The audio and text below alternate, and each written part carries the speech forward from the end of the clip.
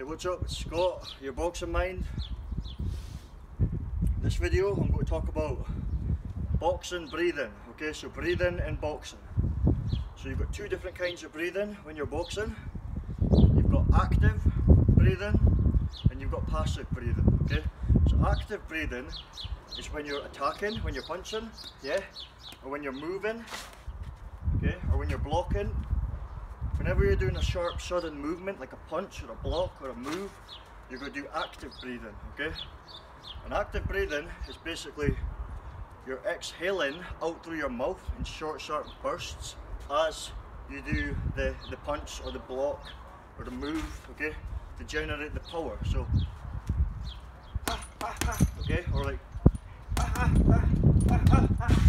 okay? Just fast, explosive, active breathing letting the air out through your mouth in short sharp bursts while you do the punch, the block or the move, okay? Passive breathing is recovery breathing, okay? So it's more defensive, yeah? So it's where you breathe in through the nose, okay? So you're just relaxed, you shouldn't be thinking about this, but you should be getting the air in through your nose deep relaxed breaths. So when you use passive breathing, it's when, not when you're attacking or blocking, it's more when you're when you're out of range, okay? When you're out of danger, and you just want to get that tank filled up again so you can get back into range and start attacking, okay? So if you get out of range or you're out of danger, just take that deep breath into the nose, it's passive breathing. You get more oxygen into your lungs through the nose, yeah? But don't think about it, it should be, it should just be your normal unconscious breathing? Excuse the wind.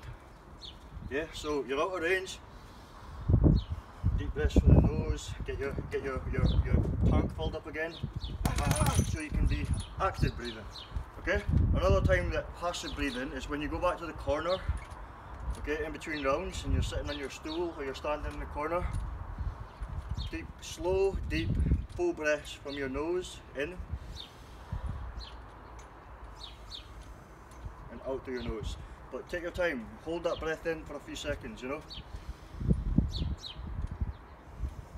Okay, because you'll recover a lot quicker, you'll slow your heart rate down, you get more oxygen into your blood, into your into your muscles, into your punches, okay? But uh, for active breathing, if sharp, sharp moves like blocking, or footwork, or punching, you need to exhale the breath out of your mouth.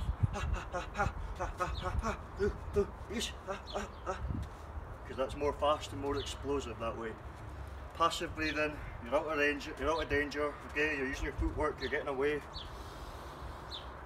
Breathe in through the nose and cover so you're ready to go again. Or you're sitting in the corner on your breaks. Just take that breath in, recover again, okay? So just keep that in mind, active and passive breathing for boxing, okay? And when you're training, make it natural so when you're fighting you're not thinking about your breathing, it's just natural, you know? Ah, ah, ah,